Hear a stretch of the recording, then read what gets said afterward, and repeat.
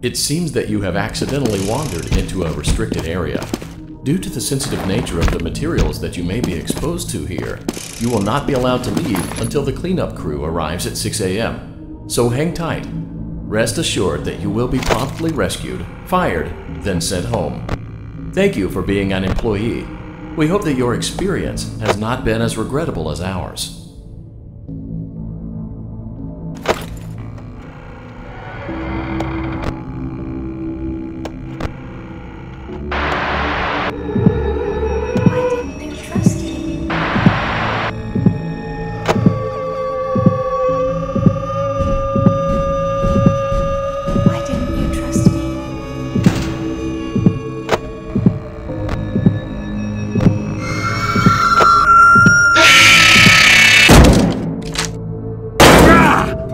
Ah!